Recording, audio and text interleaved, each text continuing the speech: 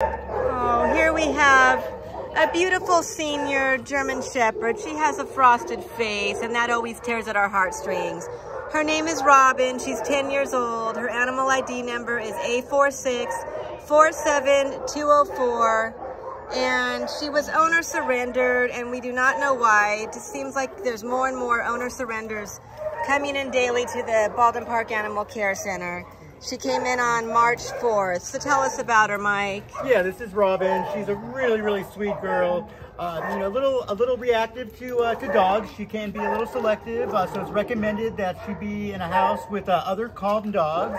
Uh, but she does seem to know some of her commands, uh, so probably little training is is necessary. But definitely someone that's going to take the time to you know, take her out on some walks. She's a little bit overweight, could lose a few pounds, but I think generally she just wants to be a couch potato and you know enjoy her senior years with a loving family who's going to give her lots of love and attention. So yeah, come on down and check her out and give her a home. Come get her out of here. She's waiting for you. Her name is Robin and she's beautiful.